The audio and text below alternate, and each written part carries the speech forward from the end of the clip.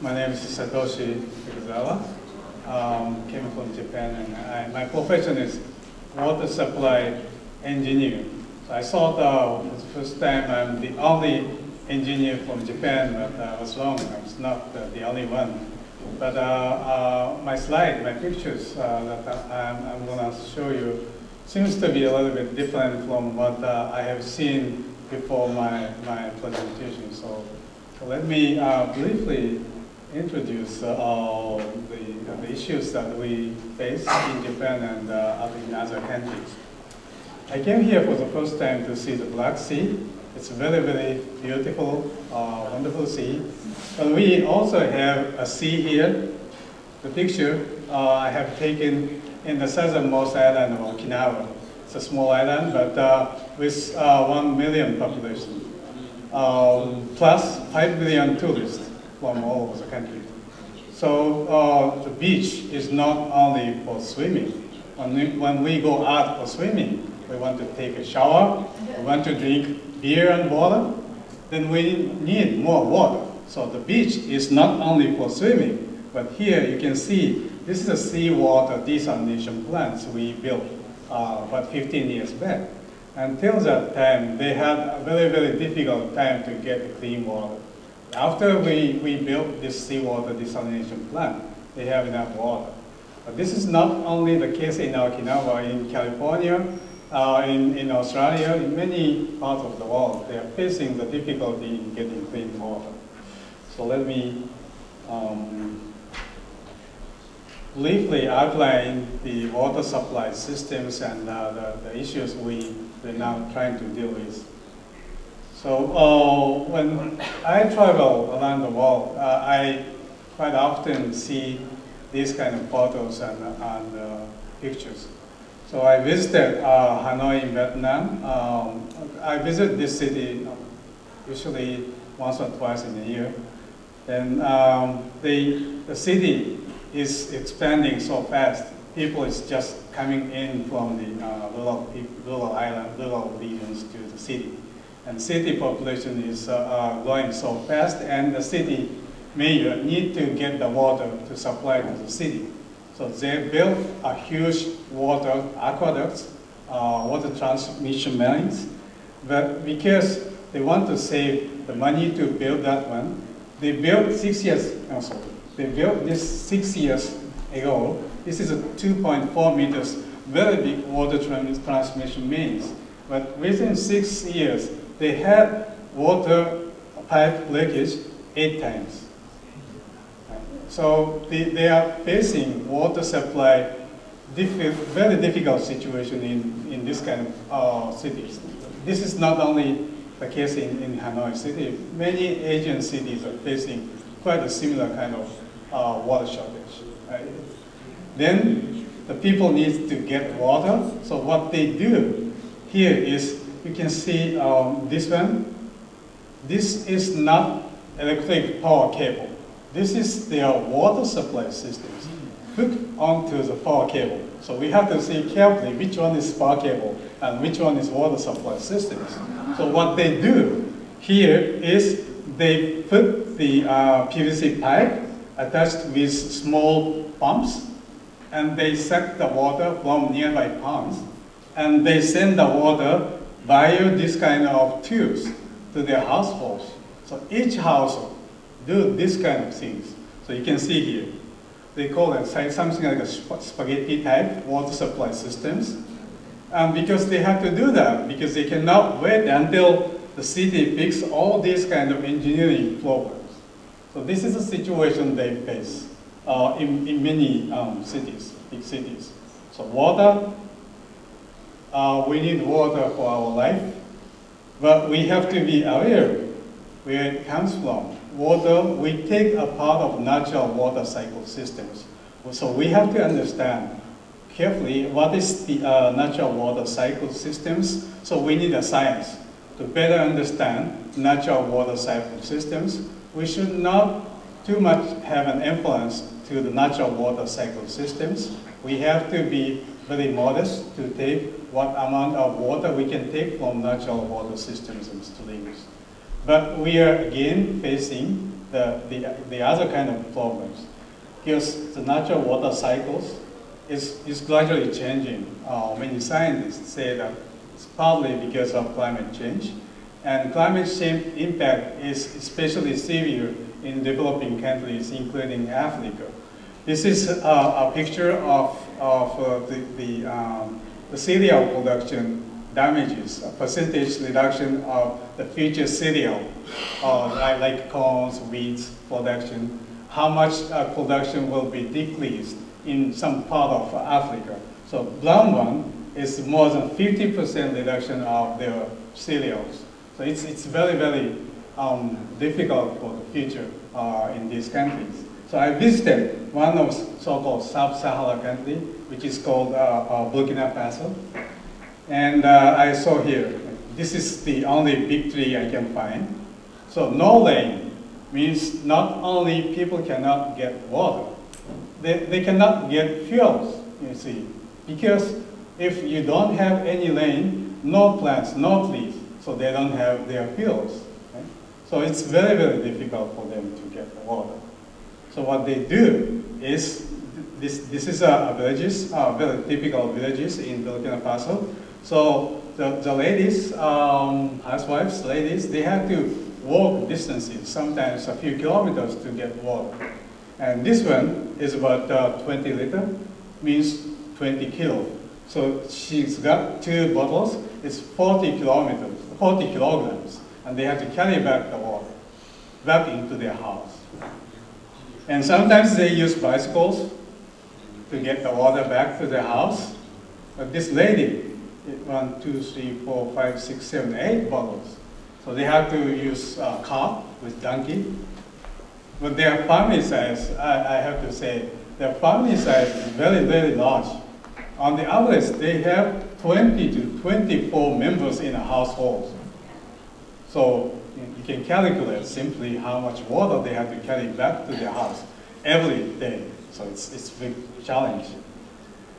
And according to this uh, publication, it was published in PLOS Medicine back in 2010, there's a linkage between the amount of the water supply and uh, the infant mortality rate. This one x-axis is the total number of population in, per in percentage unserved population. Means people without access to water. So from 0 to 80%, and this one is infant mortality rate. So if a country, this is a country-wise data set, and if a country um, has a high rate of unserved population, the infant, infant mortality rate in general is higher. So this is a general linkage between the infant mortality and total number of unserved population. And these bubbles, large bubbles means large country with higher population. And the yellow one is low income country and, and red one is high income country. So you can see from the picture, these bubbles, um, mostly yellow ones, means the uh, low income countries suffering still the uh, low rates of uh, uh water supply service and high rates of population or infant mortality rates. So when we go see um, the villages, we always ask as a water engineers, we have to figure out what we can do. So we ask, can we take water sample? And, and this lady is a, a master of this well. She sort of dominates and she say okay or not okay. So she said that okay, he's a translator. So I requested for a sample. And she said, okay, but you have to take the sample yourself. I will not help. You have to take your sample. It was a kind of difficult, but I finally I was happy I get a sample. okay, but you see, this is just two liters, and they have to bring back these bottles, 20 bottles a day. So how many times do they have to do this? So it's a big challenge. And on top of that, uh, I, I, put the water into a cup, plastic cup, and you can see inside, it's, it's, it's filled with uh, uh, dirt. And they have to bring back this water to their households, and then they have to figure out whether they can drink directly from this, or they, they can do something to make it better. So usually, uh, we can find some um, sort of uh, methods to clean the water. This is very uh, famous, LifeStraw, but they, they can drink just a small amount of water. And this is also a ceramic pot filter. So made in Burkina Faso, they can produce this kind of ceramic pot. You can see no hole. It's not a flower pot. If it's a flower pot, you need a, a hole here. No, no, you cannot use your flower pot. So no hole, no hole. But this uh, is not good enough to uh, separate uh, E. coli and viruses. Uh, spore is so, so, so large, so that all germs and, and E. coli pass through. And this one is solar disinfection system, so it's, it's good, but uh, uh, when it's cloudy, they cannot get clean water. So these are the challenges they face. So we brought some instrument from Japan to um, Burkina Faso. Uh, the, this one is a, a membrane filter, a ceramic membrane filter, uh, filter manufactured by a Japanese company.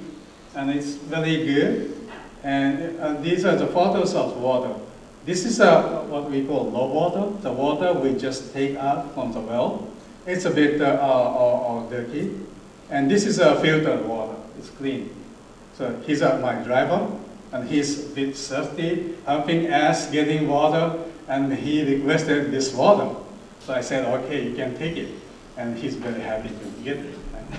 And this one is uh, so-called, we, we have to clean, wash the uh, membrane filters. We call backwashing, putting the pressure from the other side and clean the membranes.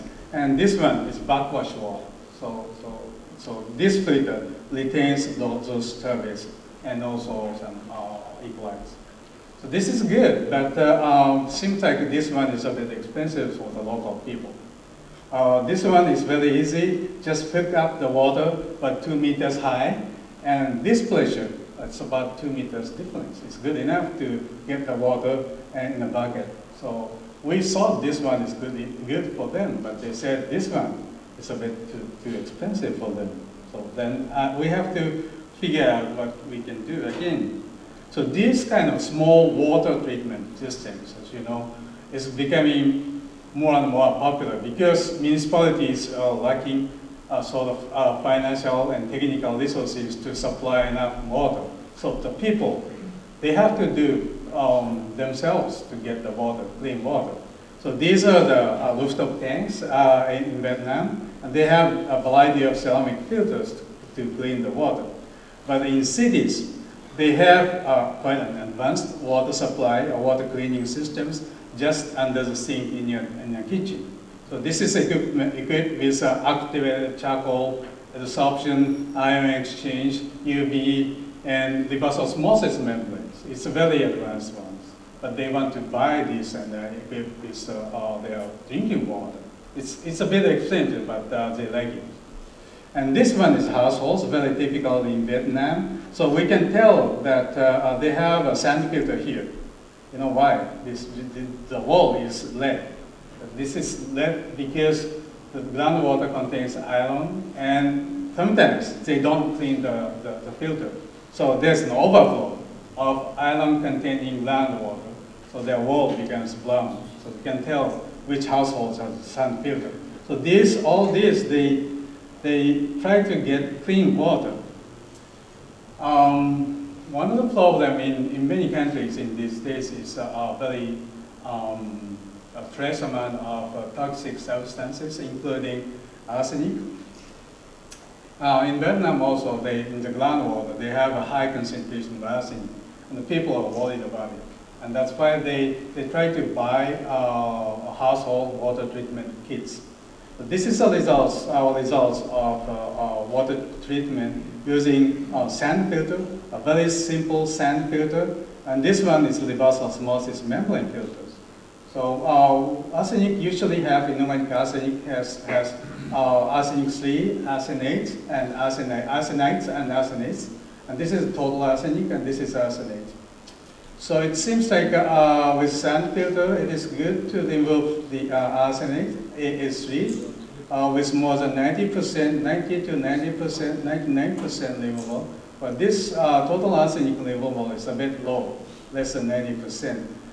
And with reverse osmosis membrane, it, it, it, it is opposite. The total arsenic removal is between 90% and 99%, and arsenic-free removal is less than uh, 90%. So we suggest that a combination of these two processes may produce arsenic-free or very low amount of arsenic for them to, uh, to be. So uh, this is a situation uh, they're facing. But the only problem with this system is recovery rate is very low because reverse osmosis membrane can produce only 20% of the water which is passing through the reverse osmosis membranes. That means 80% is gone. It's just waste. So my student Vietnam, from Vietnam calculated what will be the future if every household equipped with membrane systems, reverse osmosis membrane, how much percentage of water demand in the future in Hanoi City will increase. Well, that is a lot. So this is good in terms of arsenic removal, but it's not good for the water conservation and water management. So again, we have to figure out alternative systems. So we, as a water engineer, in the past are facing different kind of uh, contaminants. Long time ago, we just tried to leave, uh, remove from, from water, like grit, uh, sand, um, like that, uh, and, and bacteria. But nowadays, we have to get rid of uh, small ones, like viruses, and some colloids um, and organics, and disinfection byproducts. We disinfect uh, water with chlorine and other uh, oxidants. Then produ we produce some very small amounts of disinfection byproducts. So we have to remove those. And sometimes ions. So this is a big challenge because to supply water to a small community, we have to supply at least 1,000 meter cube of water for a small community. But when it comes to a big city like Varna, we have to produce a large amount of water, like 1 million meter cube per day. That is a huge amount of water. But uh, we have to target these small things. So there's a big gap uh, between so, uh, sort of analytical chemistry levels of contaminants and engineering application of uh, any kind of methodology. So there's a big gap between these two.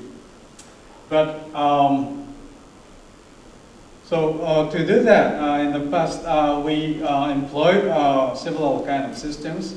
The most easy is gravity sedimentation systems. Just put the contaminant in the water, leave it for a few hours to a day, and then the grit will gradually um, uh, settle down. The second is when it comes to a little bit small ones, we have to put some chemicals, we call chemical coagulation processes, combined with some membrane or sand filtration systems. And then when it comes further smaller ones, or some, some, some uh, bacteria and viruses, this is not good enough, good enough. So we have to add some disinfectants into the water. And then uh, we have other ways to uh, put the oxidants to degrade those contaminants. And also we have some absorption processes like activated charcoal. All these are chemically intensive and, and we have to put a lot of energy. So, so then we have to figure out what to do with that.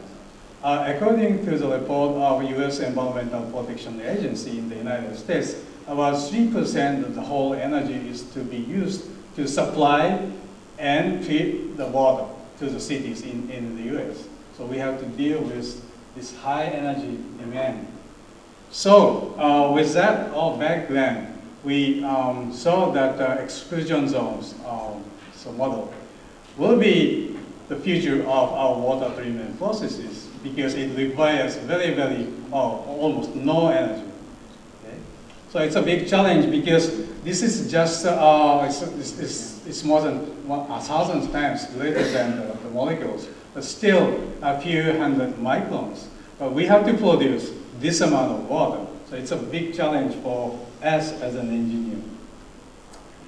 Uh, with that background, I would like to report to you uh, a couple of results uh, that we um, published recently. Um, and maybe um, it is not necessary to explain uh, what is the exclusion zone phenomenon. Uh, this is one example. Um, this is a, nafion membrane, and this is called a particle. And after some minutes, we can see a clear water zone here. So uh, we, we measured the size and the rate of uh, uh, formation. So the size gradually increases up to uh, 300 uh, seconds or 5 minutes and then stabilize. We monitor this one up to 15 minutes or 900 seconds. So it's almost stabilized, no change, up to 15 minutes. Um, so, but uh, this is a, few hundred microns, and we want to make it larger, larger scale, a little bit larger. Even if a household scale, it's too small scale. So uh, these are the conventional systems uh, like chemical coagulation, filtration, and energy-intensive membrane filtration systems. So forget about these. Uh, we try to focus on how we can make use of exclusion zone phenomenon. So uh, Professor Pollack already uh, reported one very, very interesting systems with uh, syringes. And uh, the goodness of this uh, exclusion zone uh, application is particle and pathogen removal without chemicals and, and, external energy, very small energy. And no byproducts, of course there's no oxidation processes, so no byproducts, and it's very simple. It looks uh, very good, but we still have a challenge. The water productivity is still very low in this system. Water production rate is reported to be 2 milliliters per hour, and recovery rate is still not quite high. So then we have to figure out how to improve this uh, low productivity. The idea is good, but uh, as an engineer, we have to improve the productivity. So I discussed with my students, my, with my researchers. I discussed for three hours, then, then we found after three hours, something's happened here. Okay, this is nafion membranes. We can see our exclusion zone very close to the nafion membranes microsphere. So this one is a bit large and, and gradually settles by gravity. So we found the difference between the gravity settling and this one is with nafion. So the difference we define as uh, the effect of, we call it phase separation, with uh, clear water phase and, and uh, particle phase. So pH is gradually getting down after this phase separation. So um, because uh, this happened only after we put the nafion membrane piece into the water, we estimated there will be linkage between the exclusion zone and phase separation. So we monitored, we measured the development of uh, EZ and uh, the top uh, layer. So these circles indicates EZ growth. So in the past we monitored only 15 minutes and then okay stop the next experiment. And but that time we discussed for a long time and we forgot about our experiment for three hours. Then we found that we have to wait hours to see what's really going on there. So we monitor, it's going up, 15 minutes, oh, stabilized, stop. But we continue. Then we found it's gradually coming down to nearly zero. Then the, uh, the supernatant size is gradually growing up. So this one is a, the whole supernatant, but this one is gravity, gravity settling. So we calculated the difference to be the cause of phase separation. So this blue triangle is the net uh, supernatant size. It's gradually going up, whereas the uh, EZ size is going down. And this monitoring further um, encouraged us to think about the linkage between EZ and phase separation. Then uh, we took uh, uh, close-up pictures, uh, how the phase separation to be take place. This is about three minutes nothing happens. 10 minutes, we can see some water here. 30 minutes, the water is here. And 40 minutes, you can see clearly, uh, very clear water. And if we add some salts, sodium chloride uh, with 0.5 uh, molar concentration, it's high concentration, so that we can prevent uh, uh EZ formation. In these cases, we cannot see any, any ones. But without salt, we can see uh, EZ and phase separation. So we saw that uh, um, EZ is the cause of uh, this phase separation. And this picture, you can see uh, very clearly, the EZ water is just, just uh, uh, around here, not Nafion membrane. It's gradually floating up to formulate the clear water on top of that. So uh, the basic mechanism we found is uh, EZ water firstly formed, and it floats up. And why it floats up to the, to the top? It's the next question we have to get an answer. Floating up, maybe it's because of the, the density difference, buoyancy force, it's, it's going up. That's what we saw. So uh, what we did is we changed the concentration of, uh, of particles, in this case carbon black. This black part is carbon black. So we change the concentration from low concentration to high concentration. I'm sorry, this is not the, the highest, but uh, these are the differences. So you can see uh, the lowest ones, uh, we cannot clearly see the EZ, but when the concentration is gradually going up, we can see a clear water zone here. So the rate of formation is a bit different. 0.48 is this one. It's no clear um, uh, supernatant. But when the concentration is increased, we can see a clear zone, water zones. So it is dependent on the particle concentration that we, we found. And then we increase further, expecting the efficiency should be better. But uh, to our surprise, when we increase the concentration, this is a concentration in log scale, we in further increase the concentration.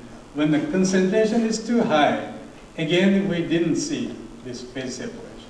So phase separation takes place in a, in a certain range of particle concentration, particle depth. So this, I think, is one of the reasons why in the past nobody reported these uh, findings. Um, because uh, the, this is, oh, I have to go fast. Um, because this is dependent on the Nafion membranes, we, we increase the number of Nafion membranes in this cuvette from one sheet to four sheets. Uh, we found the first rate is passed with four membranes, uh, but the, the, the, terminal, final uh, supernatant size, size was not so much different. And then we tried to um, figure out why the, the, the number of uh, uh the Nafion sheet didn't uh, the final terminal uh, supernatant size. One reason is Nafion area gradually declined and EZ formation rate dropped. This one is four membranes. It, Nafion area is first about four times different, but gradually, because the particles uh, gradually settle down, the, the, the area that face with Nafion is gradually coming down. So that's one reason. The other is uh, with four uh, Nafion membranes. This one is highly concentrated. So we saw these are two reasons why we cannot find uh, this uh, clear water zone. So, so far we used only Nafion membranes, and then uh, we, we saw uh, what's going to happen with uh, other membranes. So we used Nafion membranes, uh, mixed, mixed cellulose ester membranes, uh, regenerated cellulose membranes, and uh, cellulose acetate membrane. With all these membranes, we can see a clear water zone. So, but uh, we can find uh, the largest uh, clear water zone with Nafion membranes. That's what we found. Um, then uh, this is a bit uh, difficult to explain, but we, we used different types of uh, particles, same diameter with, with different surface functional groups. We used two, two different particles with amino carboxylate and sulfate groups of surface functionalized. The average EZ size almost the same, but the supernatant size was very much different, with amino acid largest and sulfate smallest. We have no answer to why this happened, but uh, I'd like to draw your attention to this. Right. Um, one reason uh, uh we can um, explain the reason uh, why this happened is with amino acid uh, functional group, uh, amino functional group, um, the uh, particle we observe aggregation from 0.23 microns to 1.96 microns. Then we calculated the, the gravity settling rate as 0.36 millimeter per hour. But the, the difference between these two is much greater than this lake.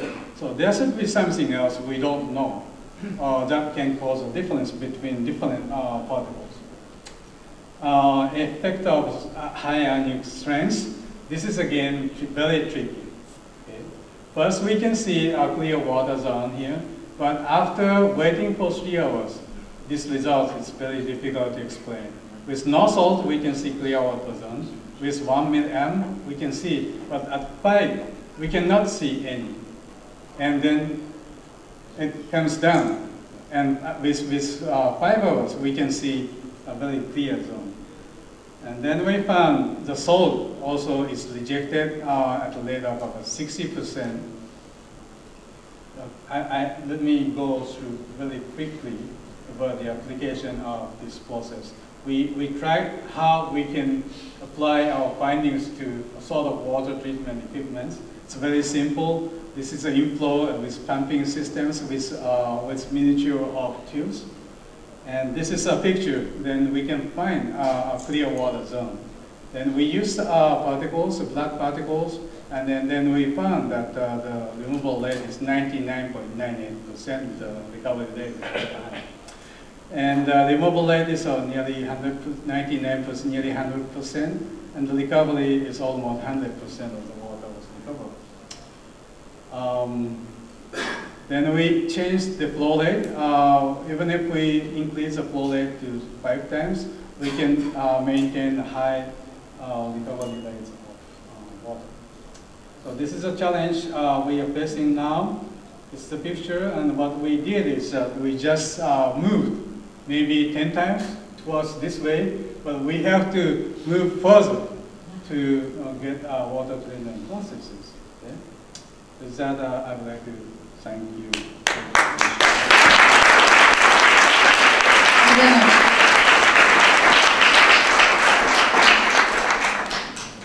We've reached the time, but maybe we can have one more question. If there is one interesting question. I don't know if it's an interesting question, but it's a question. Uh, so, next to the Nafion, you have an exclusion zone. Beyond the exclusion zone, you have protons. And um, I wonder whether it's the protons that are, are the, the missing factor in, in explaining some of this, because those protons will then link all of the sphere, microspheres, and whatever to form big complexes, which then might settle to the bottom. Do you think that's a possibility? Uh, that could be. We, so far, we just came up with this result, and uh, we didn't look carefully into the mechanisms. So we, we look. Okay, one more question in the back. So when you add salt, it, it, it lowers the effect, so does that kind of make it difficult to desal- use as a desalination device? Uh, we hope so, but uh, the salt rejection rate is still 60%, uh, which is not high enough to supply uh, fresh water. Yeah, but you could recycle that, but did, did, That's a good idea. but yeah. it seemed like you, when you added salt, the effect went away. Yeah. Is that right, or did I misunderstand that? We, we. The um, exclusion zone got smaller when you added uh, higher concentrations of salt. If the salt concentration is beyond certain level, up to some levels, it's, it's fine. So we cannot so far apply seawater desalination But because some 10,000, salt level is too high. You had 10,000 parts per million, Yes, it worked, but above that it started. yes. Okay, thank you very much for your Thank interesting much for your- presentation.